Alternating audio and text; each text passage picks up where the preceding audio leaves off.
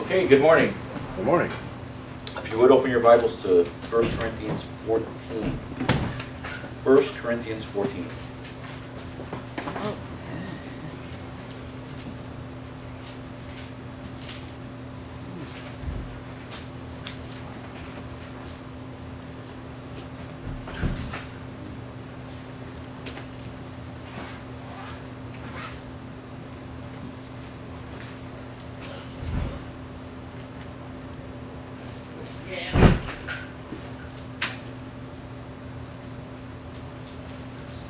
Is it on, on the left? There's a switch, turn it on. This turns on? Yeah. On the left, there's a switch. Oh, I see. Yeah. That's what I was trying to figure out. That's Okay, why why- it's not. Alright, sorry. Alright, perfect. Um, this week we're gonna be looking at individual soul liberty. Alright, so a easy way to uh, remember this is freedom of conscience. Freedom of conscience. At least that's what I've termed it. Okay, so we're in week six, uh, looking at freedom of conscience. Okay, 1 Corinthians 14. Uh, go down to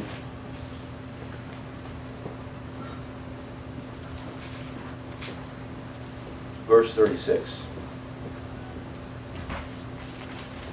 Uh, this is what? Came the word of God out from you?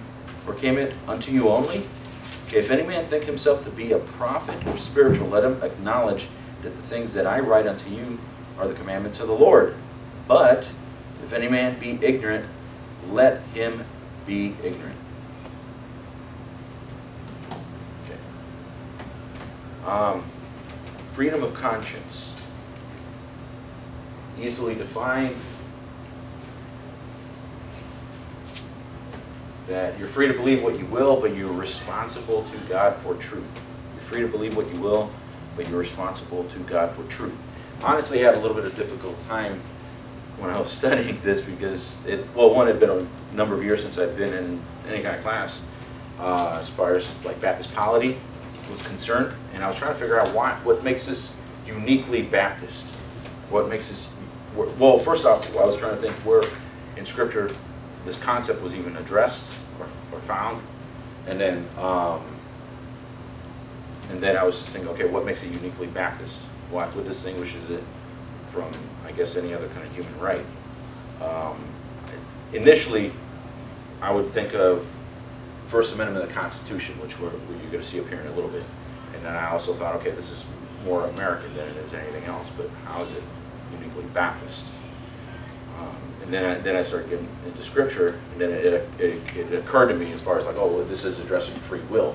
Every man has a free will, and God addresses people and deals with people on the basis of the fact that they have a free will. And we see it at that point. If you, if you come at it from that angle, you see that wait a minute, it's all throughout Scripture, even from the beginning. Uh,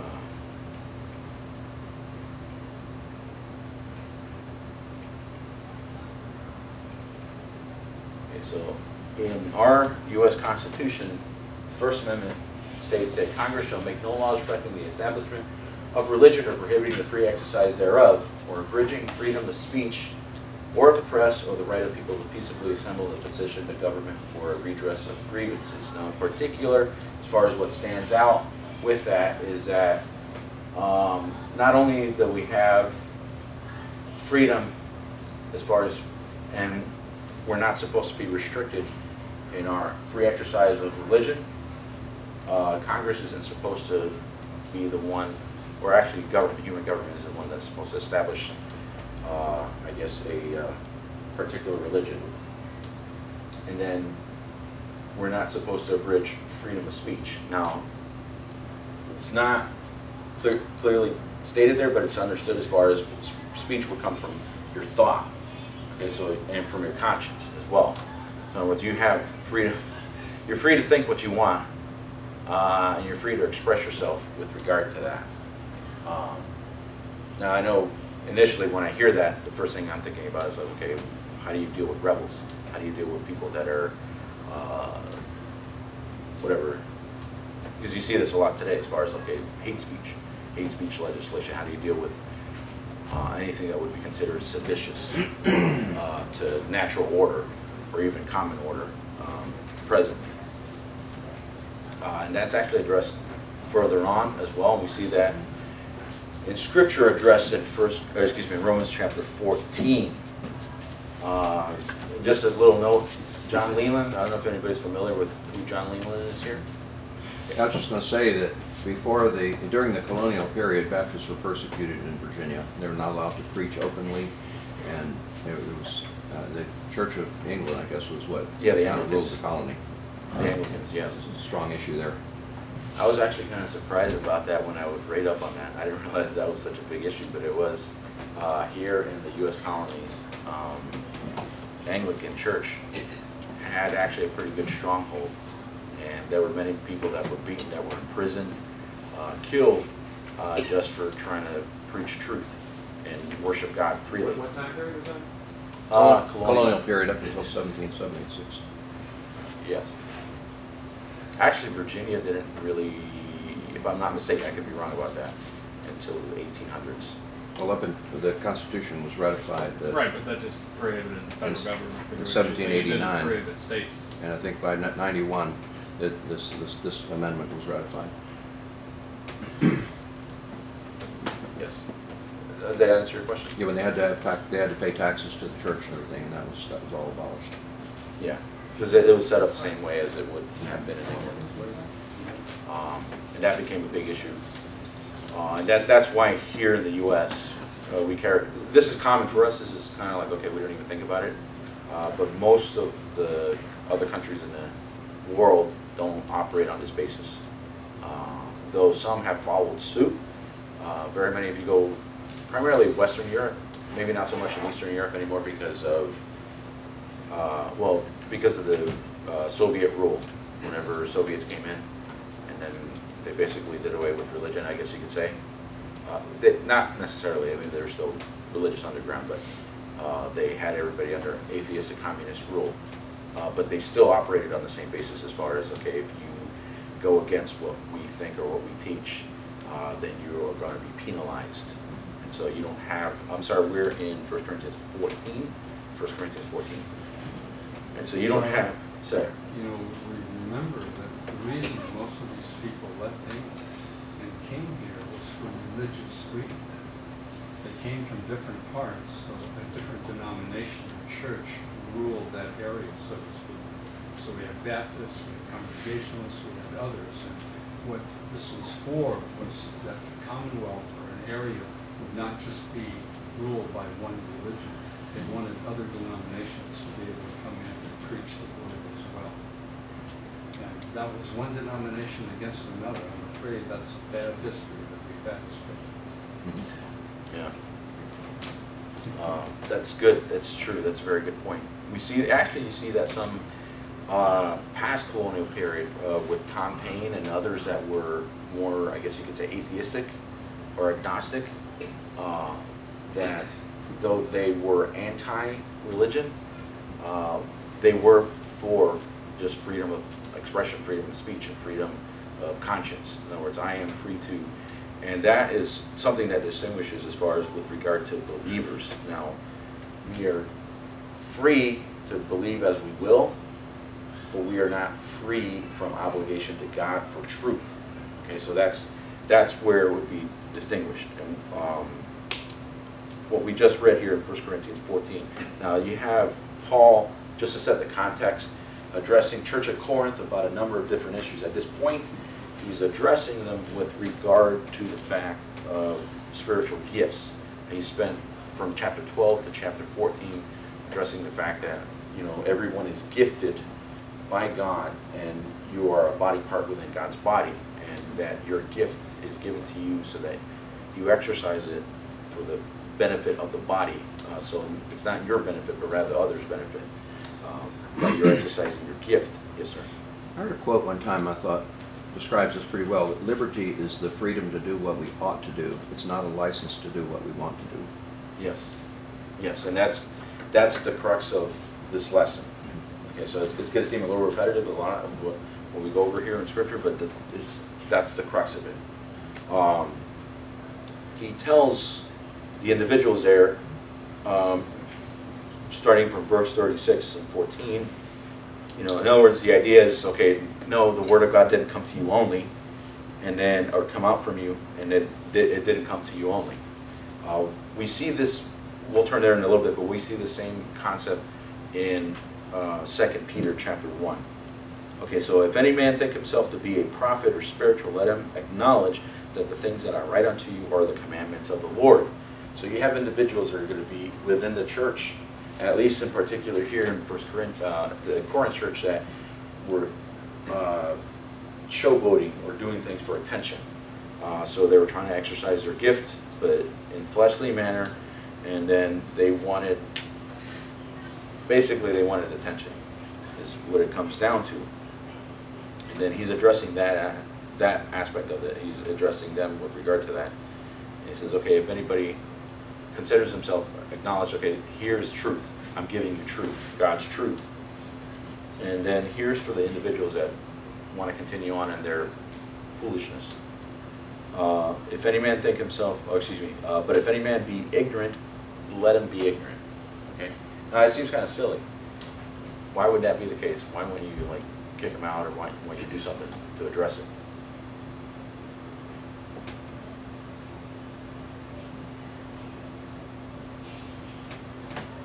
Uh, Again, I'm not, I know it's a silly question, I'm not trying to insult anybody's intelligence, but why, why would that be the case? Why, why doesn't he address it any other way? Why does he address it in that manner? And he says, okay, if he's ignorant, let him be ignorant then. Makes no sense to argue with a fool. It's because he has a free will, whereas we have a free will. That's how God deals with people on the basis of, on the, on the basis of free will. Okay, so, in other words, if he's wrong, he's wrong. Uh, I can't force you to be right. I can't force you to choose right. Uh, you don't want to choose right? Okay, that's fine. There are repercussions for you not wanting to do right. We see that, um,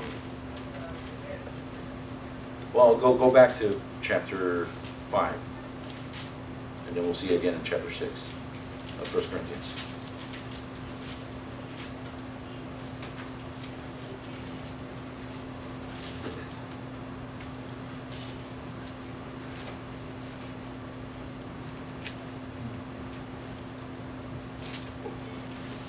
Uh, starting in verse 1. Okay, it is commonly reported that there is fornication among you, and such fornication as is not um, so much as named among the Gentiles, that one should have his father's wife. And ye are puffed up and have not rather mourned, uh, that he that hath done this deed might be taken away from among you. For I verily, as absent in the body, but present in spirit, have judged already as though I were present concerning him that has so done this deed. In the name of our Lord Jesus Christ, when ye are gathered together in my spirit uh, with the power of our Lord Jesus Christ, to deliver such an one unto Satan for the destruction of the flesh, that the spirit may be saved in the day of our Lord Jesus Christ. Okay, your glorying is not good. Know ye not that a little leaven leaveneth the whole lump? Purge out therefore the old leaven, that ye may be a new lump, uh, as ye are unleavened. For even Christ our Passover is sacrificed for us. Okay, so here you have same church. This is obviously earlier in the letter, but he's addressing an individual now that is in fornication. Okay, um, and it's a vile form, so much so that he says, okay, it's not even named so much among the Gentiles. And here's what I'm commanding you guys to do: kick this dude out. Okay, turn him over to Satan for the destruction of the flesh. So, you guys know this is wrong, and this needs to be dealt with, and here's how you deal with it. Kick this guy out. Turn him over to destruction, to turn him over to Satan for the destruction of the flesh. And then you go down further, um, verse 9. It says, I wrote unto you an epistle not to company with fornicators, yet, alto- yet not altogether with the fornicators of this world, or with the contentious, or covetous, or extortioners, or with idolaters, for then must ye needs go out of the world. But now I've written unto you not to keep company if any man that is called a brother uh, be a fornicator, covetous, or an idolater, or a railer, or a drunkard, or extortioner, with such an one no not to eat. Um, So now he's commanding as well, as far as, okay, if you run across any other brethren that are like this of this manner, uh, don't company with them as well. So this is a different manner by which, but the fact is, he's still responsible to know truth, and he's still responsible to respond to truth. Okay?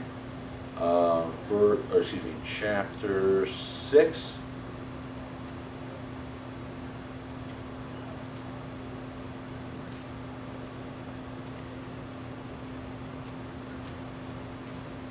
Uh, verse 18, 18 to the, to the end, okay. Uh, flee fornication, every sin that a man doeth is without the body, but he that committeth fornication sinneth against his own body. Okay, then what know ye not that your body is the temple of the Holy Ghost, which is in you, which ye have of God, and ye are not your own? For ye are bought with a price, therefore glorify God in your body and in your spirit, which are God's. Okay, so that's pretty much common sense, okay? Uh, now, I know in particular he's addressing fornication, but the fact is we're responsible, regardless of whatever the sin is, to glorify God in our body and our spirits because they don't belong to us. They're not ours. And I'm just a steward of it, as, as we all are, a steward of our bodies. Um, go to Second Peter chapter 1. 2 Peter chapter 1.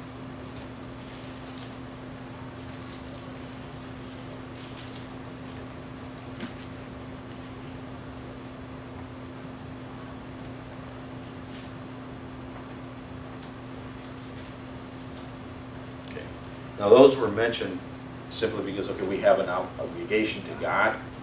uh, With regard to our body and to our spirit, we have an obligation to God with regard to our conscience. We have an obligation to God with regard to truth. Um, But we still have a freedom to be able to go ahead and choose. Uh, Verse 20. Okay, knowing this verse that no prophecy of the scripture is of any private interpretation. Knowing this verse that no prophecy of the scripture is of any private interpretation. Now, I know it seems kind of silly, but what does that mean?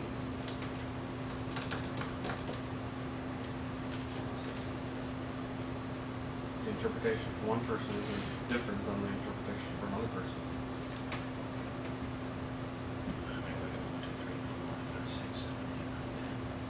Okay, so there's 13 of us in this room, unless I've counted wrong. Uh, Isn't it possible, okay, we can look at same portion of scripture and then come up with a different application, right? Some would consider that being, okay, different interpretation. No, it's not necessarily, okay? But if I'm seeking God, uh, and I want truth, then I'll come to the same conclusion as you would or anybody else would that uh, would be probably more studied, more knowledgeable of, of the, the Word of God. And the fact is, okay, so anybody coming to the Word of God is going to arrive at the same conclusion that they would as intended by the Spirit of God to the original audience. Does that make sense? In other words, there, I can't just come up to a portion of Scripture and make it mean something different than what was originally intended by its author to its audience. So I can't just, you know, make up whatever and then how a lot of people tend to do. Uh, people, well, Peter speaks of that later on. They, he says that um, the individuals in go to well chapter 3 verse 16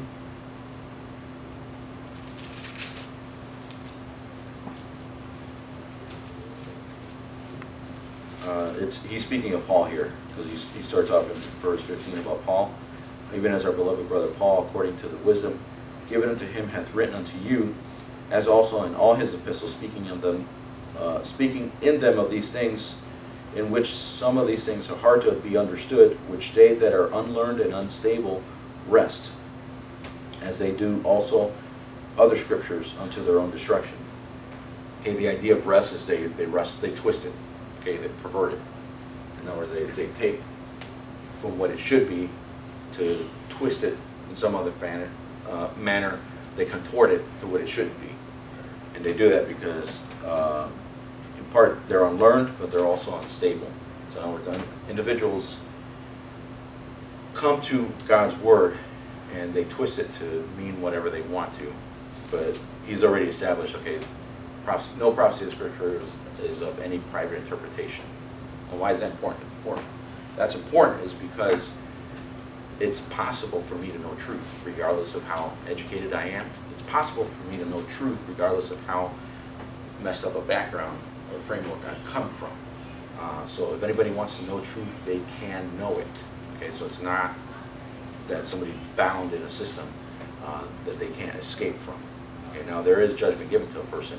You read about that in Romans 1, that whereas there's individuals that don't like to retain God in their knowledge are given over to a reprobate mind, and then as a result, you see the things that flow out because they're given over to, to live.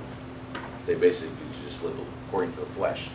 If you turn from truth, you turn from light, there's no other alternative to turn to but to darkness, so that's what you end up with. And that's what you have a lot of individuals that, um, in effect, not, not, I mean, you will see that a lot in our present day uh, society. But that's where they go off and teach, you know, crazy wild things that you think, okay, how does somebody that is of rational thought come with this?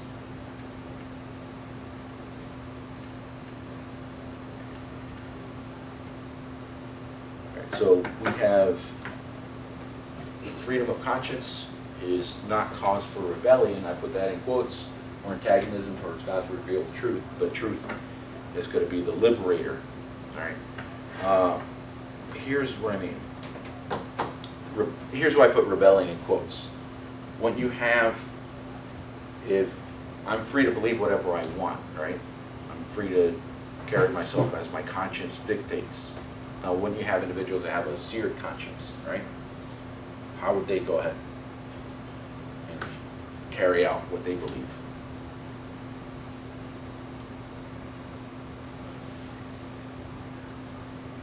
Yes, sir. They what they understand. I know it seems kind of crazy, but why would somebody knowingly, uh, like, promote abortion? Why would somebody fight for abortion? Why would somebody, uh, you know, lobby for, sir? Well, probably because of the news media. All the, s- so many uh, liberal articles about that type of thing. Some are just ignorant about what it's really all about. But you need somebody who really knows what it's all about and they still promote it. Is that what you? You can have both. There's passionate people that are convinced this is the right way to go about doing things. I've, a- I won't, I don't remember the, the gentleman's name. I do remember going with a friend of mine from this church to visit a friend of his. And uh, he had a young child that was probably four months old, if I can remember correctly. Uh, he was in the house. Uh, he was in the music business as a performer, and my buddy asked me to go with him so we could witness to the gentleman. I, I didn't know him from Adam. He was a friend of my, friend here. So we went, we go, and then we're there. Um, now, he has kind of a mocking attitude because he didn't really care for religion. Uh, I don't know necessarily his background as far as why that would be the case. Uh, I do remember, though, um, uh, well, him having no problem, like, smoking marijuana in his house, um, and then, you know, with his kid around. But uh, he took offense to the gospel and then kicked us out of his house because he's like, I don't want my child around this.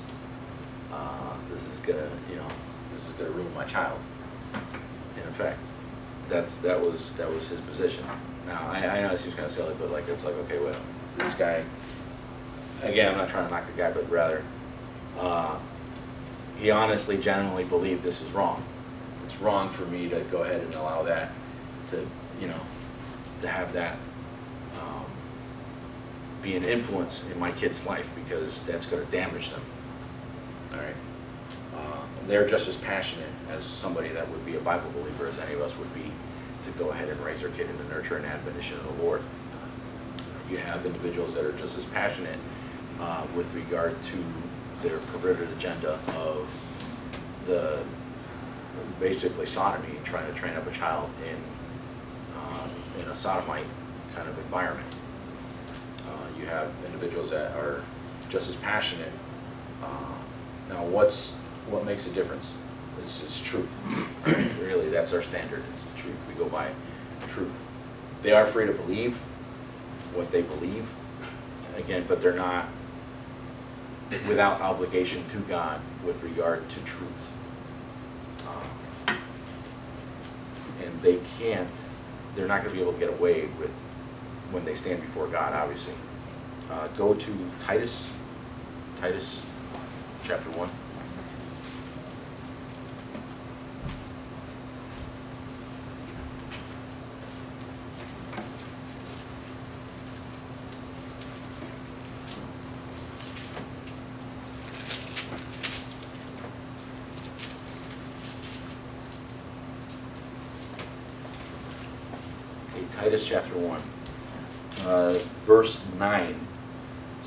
Holding fast the faithful word as he hath been taught, that he may be able by sound doctrine both to exhort and to convince the gainsayers. For there are many unruly and vain talkers and deceivers, especially they of the circumcision, whose mouths must be stopped, who subvert whole houses, teaching things which they ought not for filthy lucre's sake.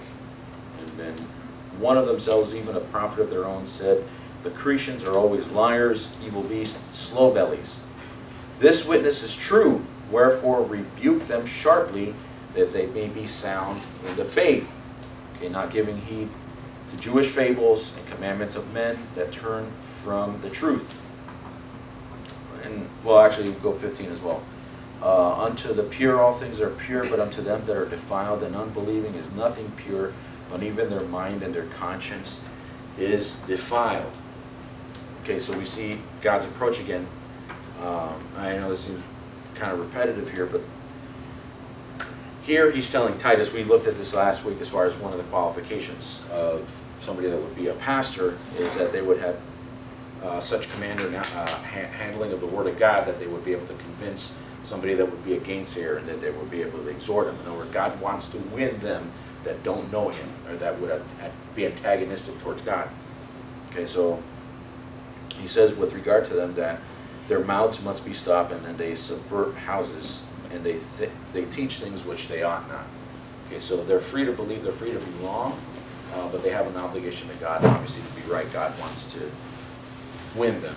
Uh, and then, again, this is pretty interesting. Now, of the individuals that are in that audience, the ones that are not only subverted, but also ones that have been won to the Lord already from within that group, uh, he says of them that their own give witness of this, of their character, saying that they um, are evil beasts, they're liars, and then they're slow bellies, that they're actually always like that in that manner. And he says, rebuke them sharply, so that they would be sound in the faith. So in other words, somebody that would grow up in a society or an environment that says, hey, this is fine, this is normal, what's wrong, you know? And then they live like that, believing, hey, this is right. You know, I, my conscience wouldn't bother me, you know, really, because the fact is, why should it? Everybody else is like this. There's nobody that's different or unique. And then you have somebody coming with truth, preaching truth, and then he says, rebuke them sharply. So they're under obligation to God to be able to go ahead and live truth. Uh, Yes. There's two passages that relate to that truth. Uh, Jesus said in in John 8:32, "You shall know the truth, and the truth shall make you free." And then Paul says in 1 Corinthians, or yeah, Romans chapter 6, where he discuss, discusses how sin enslaves you. Yes, yes, that's a good point. Actually, oh, that's my fault.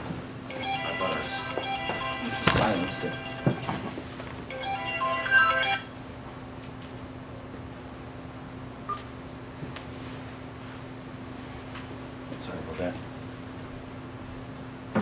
Uh, that also reminds me of another passage. Go to Romans 14. Romans 14.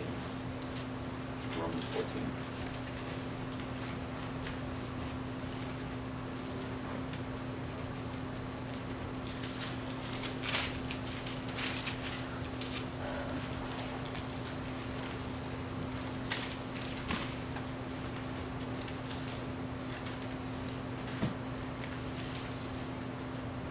Actually, 13. 13 is what I wanted to address.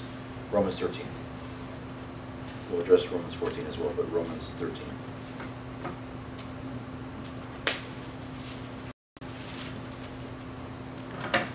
Okay, let every soul be subject unto the higher powers, for there is no power but of God.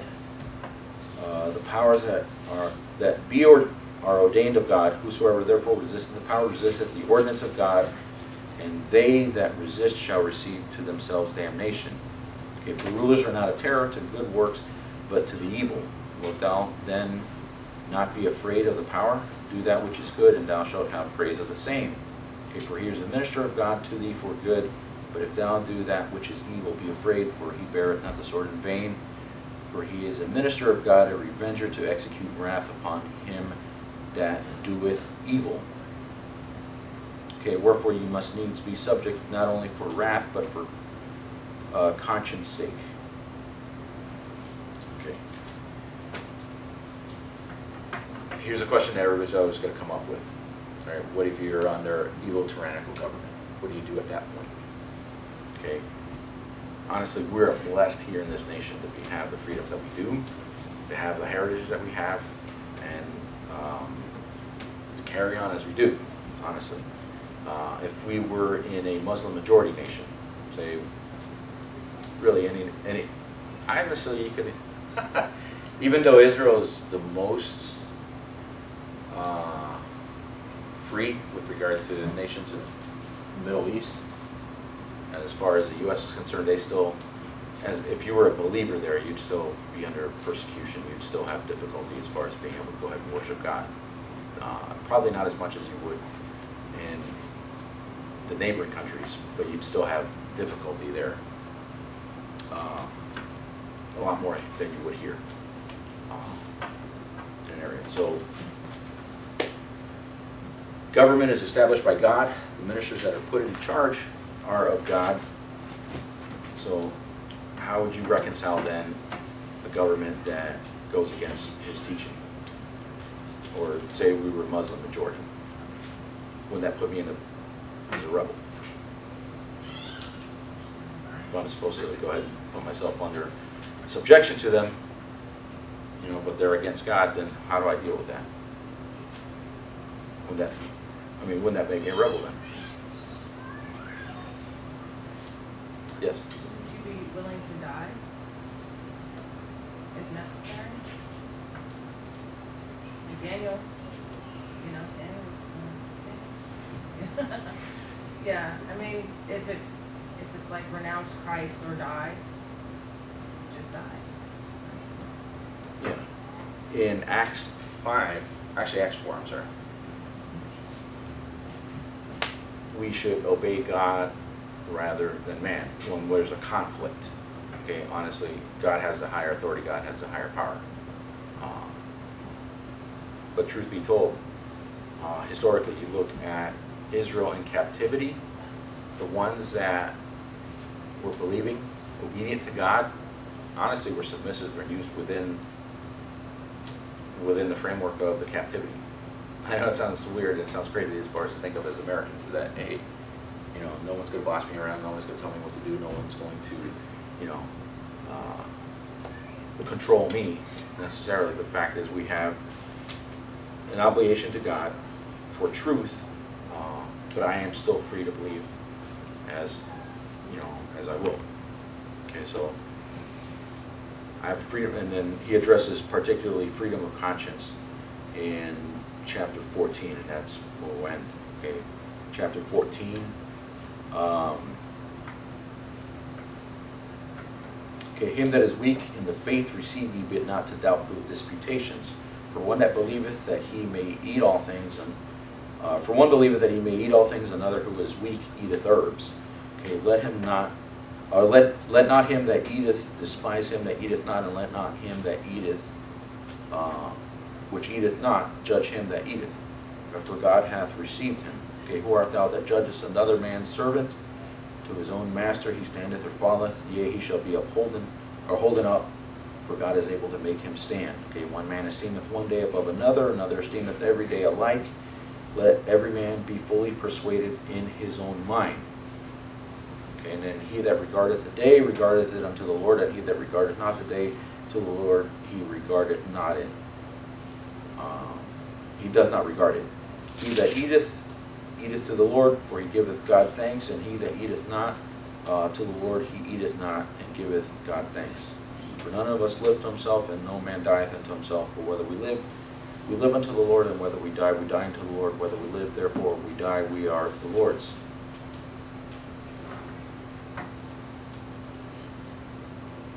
Uh, then uh, skip down to verse 10. It says, But why, thou, why dost thou judge thy brother? Why dost thou set at naught thy brother? For we all stand before the judgment. For we all must stand before the judgment seat of Christ. Okay, so God's ultimately our judge. Uh, and this is dealing more specifically as far as like with gray area. Truth that you can apply, but doesn't have a specific, only one way application to it. In other words, I am free to, as in my conscience, as my conscience would dictate, to go ahead and live out. Obviously, still responsible to God for truth, uh, but I don't have to do it necessarily your way. Uh, But it's too vague or making sense here. Uh, But we have freedom before God, uh, how to live out in our conscience. uh, Again, not to sear it, but we have an obligation to God as far as to live out truth. All right, Does anybody have any questions?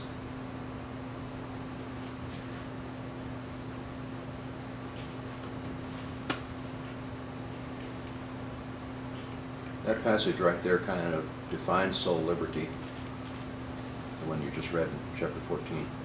Yeah, that's, that's the crux of it. Um, We don't, we, um, it sounds funny because I can think of different, okay, I can't control you, and I, again, I can't control your household, uh, I guess likewise, you can't mine necessarily.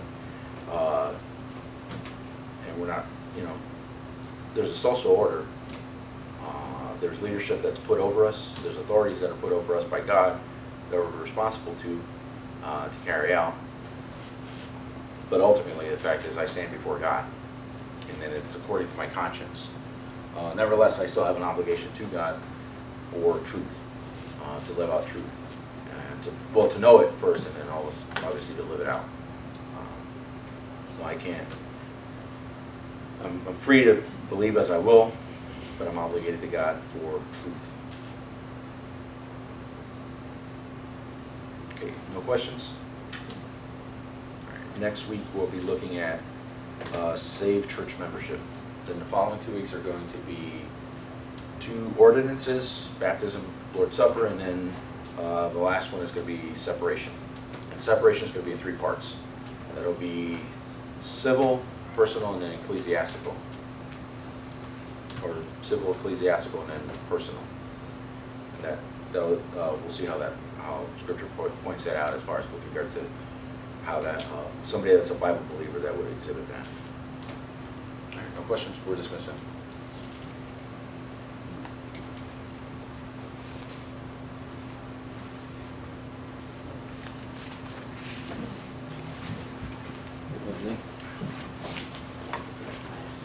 What does that mean? That symbol? Cross out wrong. It associates with verse. What? It's- It associates with verse. The verse here. Lay not up yourselves treasures on earth or on Yeah, no, I So, know. crossed out or don't put your treasure there. Okay, all right. That's what I was trying to evoke. Okay. Apparently not well enough. Oh, really? Don't join Greenpeace. I didn't get a program. Oh, yeah, thanks. What do you think I should make that? I that? need a program. What picture should I put on that? Well, Bulletin. th- what you could do is make the, the line weight heavier on the red. Heavier? Yeah. So you can actually see that it's a, a cross out there. I can do that.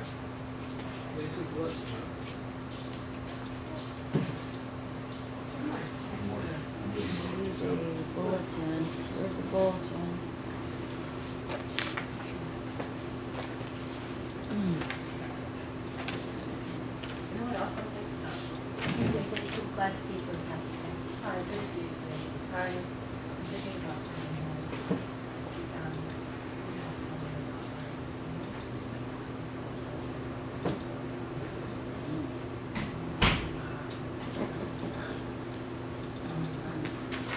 Is this next week? Who is that? All right. No, these were the last two weeks. Hmm? These are the previous two weeks. ones. Oh, Recognize John R. Rice there. Who's the guy with the Confederate flags? Oh, you didn't actually know these? I don't know if any people would. He, um, what's his name? Uh, Phil Kidd. No. Phil Kidd? Yeah. Th- This is a review of, okay, so you got, uh, two, the two officers, so, okay, a pastor is supposed to be, you know, whatever, husband and one wife. Uh, well, actually, he's supposed to be, I dealt with the word husband, so he's a man, not a woman. And then husband and one wife, and that's, uh, that looks like a family, but it's actually polygamous. So it's kinda hard to distinguish as far as, okay, like, okay, um, so when I was looking for pictures, okay, so he's got, this guy has got multiple wives, so he wouldn't, it wouldn't be a polygamist. Okay, so he's supposed to be not a striker, not a brawler. So, um, And then his, he's pretty, well, he's pretty cantankerous in his personality. Where's John R. Rice fit in there? Uh, That is he. this guy's doing it for filthy lucre, the other guy on the Oh, yeah. so he's supposed to be, you know, he's patient, Not for filthy liquor, okay. he's got to teach. Mm. Um, I coupled a bunch of them because it's kind of hard to come up with just this picture, so it's like, okay, he's, Mhm. um, You got your, uh, got your photos stored there. a little bit, yeah, at our time, uh, setting, I need, I need to readjust it. And then deacon, that's what the word means literally, be a dude, a servant guy, oh.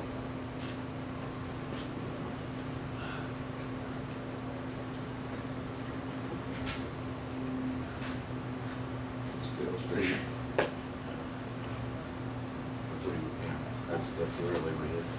You look at Acts, as far as initially what they were brought up to do, that's what they were brought up for. They had qualifications for them there, and then also you look, well, we looked at the other qualifications that they had for later. That's mentioned in Titus mm-hmm. as well as for Timothy. But in essence, that's what he is, he's not, a Jew that.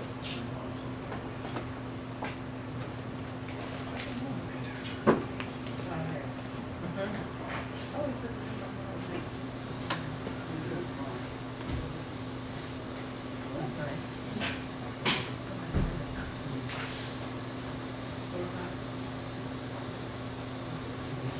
Stacy, how's your mom? She's, is she still sick? What's- I used to have a boss one time who said if I got sick, I got a cold, he said, go home and put your feet in the oven. That, that doesn't work, put your head in the oven. Oh, there you are. Yeah. We're just talking about you. Oh, really? I was, I was saying that I, I used to have a boss, uh, uh, John Barton, he said, if you got sick, he said, go home, put your feet in the, in the oven. Whoa! If that doesn't work, put your head in the oven. I'm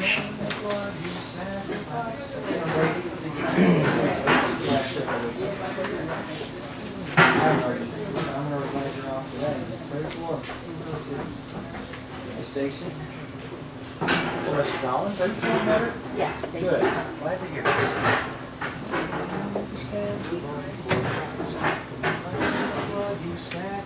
Charlie, you're getting it, man.